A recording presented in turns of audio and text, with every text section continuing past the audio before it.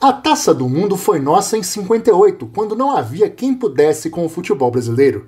Em 70, éramos 90 milhões em ação.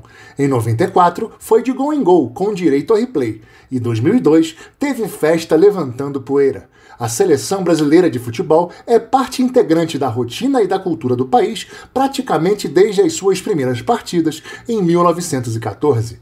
Um projeto em debate no Senado pretende transformar o time verde-amarelo em patrimônio cultural.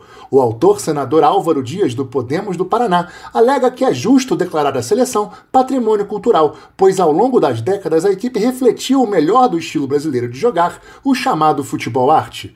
Mas o senador deixa claro que o maior maior objetivo da proposta é aumentar a fiscalização da Confederação Brasileira de Futebol, que passaria a ser feita pelo Tribunal de Contas da União. Nós estamos apresentando essa proposta exatamente para que não reste dúvidas sobre a utilização de recursos públicos. Se a seleção é um patrimônio cultural do povo brasileiro e ela é a sustentação financeira e econômica da CBF, não há dúvida de que a CBF tem que ser fiscalizada pelo Tribunal de Contas da União. Álvaro explica outras mudanças que o projeto pode fazer na administração da entidade. Nós estamos propondo uma estrutura de transparência, CBF, né, com várias normas que exigirão a publicação de balanço, a realização de auditoria. A proposta tem relatório favorável de Eduardo Gomes, do MDB do Tocantins, na Comissão de Educação, Cultura e Esporte.